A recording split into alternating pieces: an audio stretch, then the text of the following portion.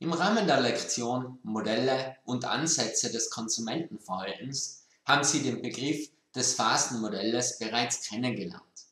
In dieser Lektion beschäftigen wir uns jetzt mit dem Phasenmodell der Kaufentscheidung. Das heißt, wir werden uns im Detail die einzelnen Phasen eines Kaufprozesses ansehen. Und dieses Phasenmodell der Kaufentscheidung unterteilt sich in drei Phasen. In die Vorkaufphase, in die Kaufphase und die Nachkaufphase. Und wie wir anhand dieser drei Phasen bereits erkennen können, beschäftigen wir uns hier einerseits einmal, was passiert vor dem Kauf, was passiert während dem Kauf und was passiert im Anschluss an den Kauf. Starten wir zuerst mit der Vorkaufphase. Diese Vorkaufphase kann wieder in unterschiedliche Phasen unterteilt werden. Zuerst einmal haben wir die Problemerkennung. Das bedeutet, ein Konsument erkennt, dass er ein Problem bzw. einen Bedarf hat. Im Anschluss daran beginnt der Konsument dann mit der Informationssuche, wie er dieses Problem beheben kann. Und diese Infosuche kann einerseits einmal intern erfolgen und andererseits extern erfolgen.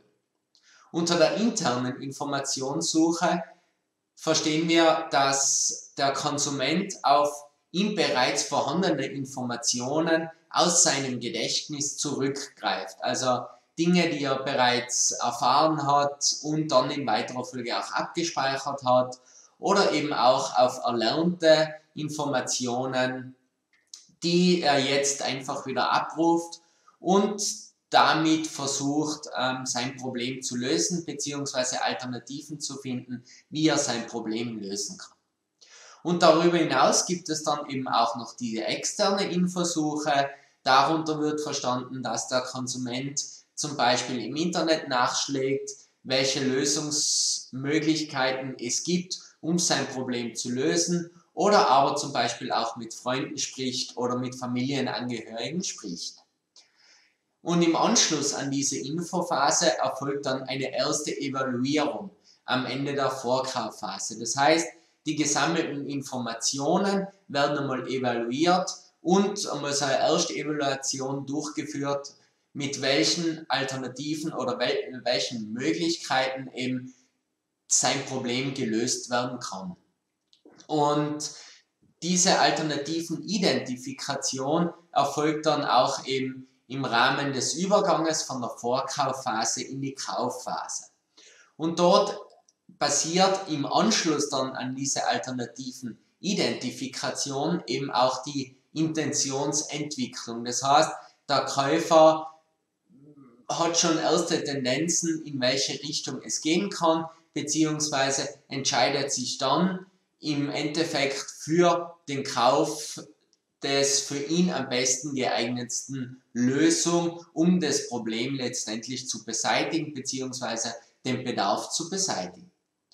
Und im Anschluss an den Kauf gelangen wir dann eben in die Nachkaufphase und in dieser Nachkaufphase wird zuerst einmal das gekaufte Produkt bzw. die gekaufte Dienstleistung genutzt und konsumiert und im Anschluss an diese Nutzung bzw.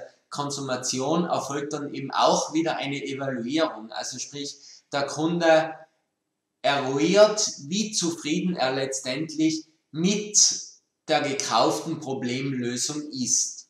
Und wenn er mit der gekauften Problemlösung zufrieden ist, ja, dann entsteht Kundenzufriedenheit und wenn er nicht zufrieden ist, dann kann es gegebenenfalls zu einer Beschwerde führen und nach einer gewissen Zeit erfolgt dann in der Nachkaufphase zum Beispiel auch die Entsorgung, wenn das Produkt zum Beispiel nicht mehr benötigt wird.